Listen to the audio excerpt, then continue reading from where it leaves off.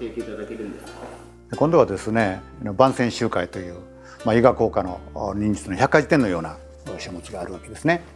でこういうものに記されている週の文王の日取りとい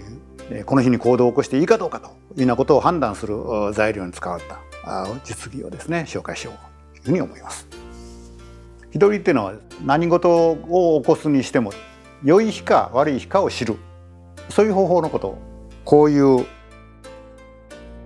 丸と黒丸と白丸が書かれたような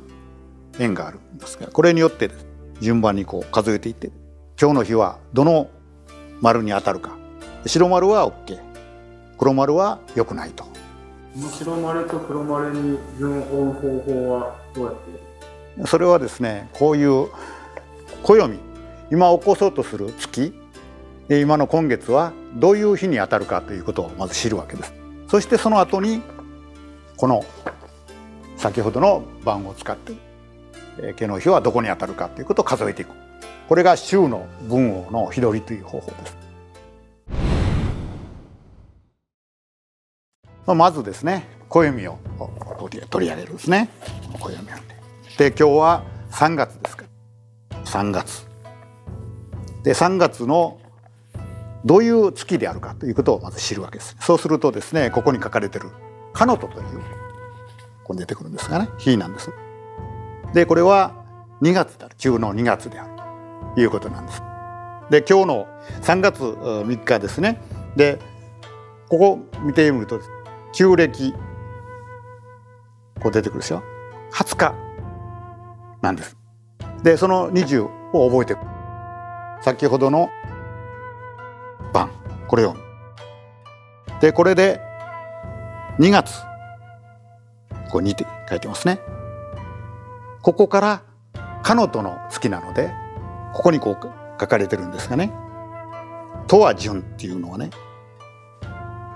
順繰りに回すんですね。2月の1日はここから始まるわけです。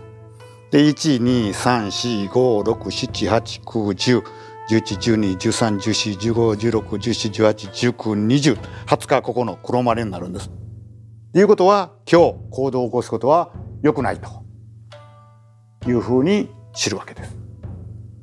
で他のやり方も日があったらですねその月を見て